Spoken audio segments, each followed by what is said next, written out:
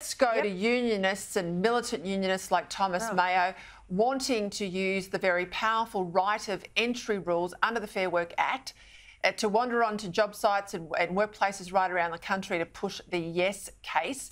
He even told a group of builders that anti referendum campaigners were, and I quote, those same bastards that hate workers. You're the minister in this area, the shadow minister. What's your response? Well, Peta, this is a completely inappropriate use of right of entry powers.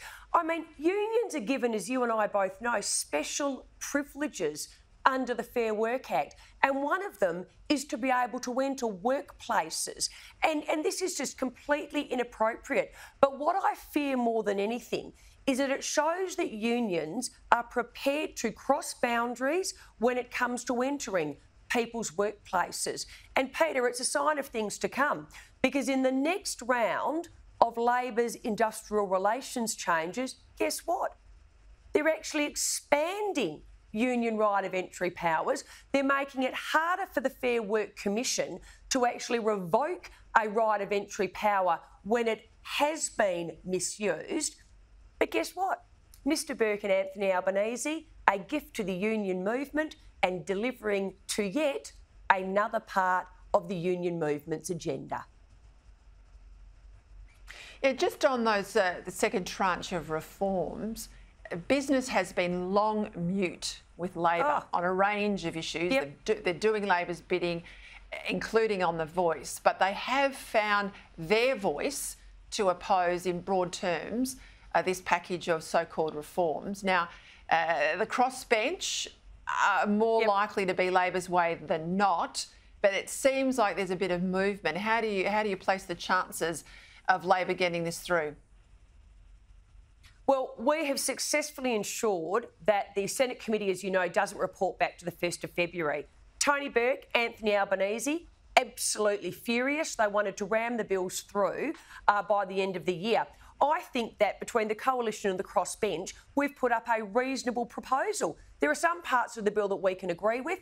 Let's take out those parts, put them through this year. I mean, why would you hold up helping first responders suffering from PTSD unless you had a political motive. So we've put a fair compromise on the table. But what do Mr Albanese and Mr Burke say? Our way or the highway.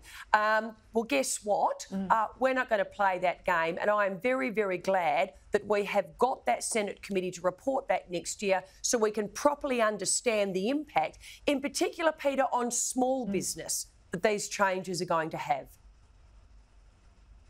All right, just before we go, I, I opened the show with this issue in the ACT hard drugs, oh. decriminalisation, oh. possession, not yep. just for cocaine and so called recreational stuff. We're talking ice, we're talking heroin. Have a look at what's happening into the big US uh, Democrat run yep. cities. Well, that's coming to Canberra. You're the one, yep. you're the Shadow Minister who's introduced the bill in the Senate today to yes. take this head on. It'll be debated, I'm told, next month. Uh, tell us more.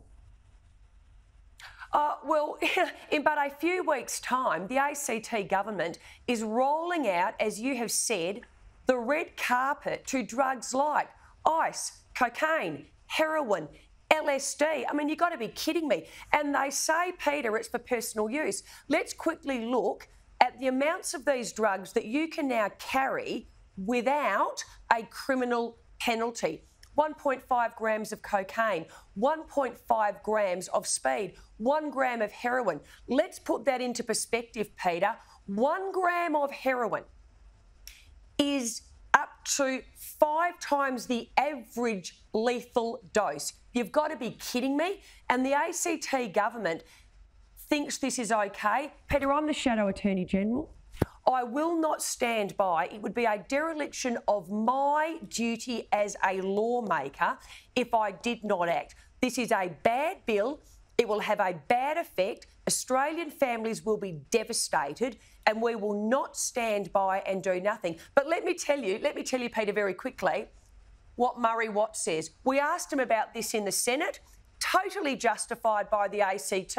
And what is worse, he says this it is for small amounts for personal use. Well, I say shame on you, Murray Watt, and shame on you, Anthony Albanese, if Labor does not support this bill, when it comes before the Senate next time we return, it is a bad bill and it should be repealed, the ACT law.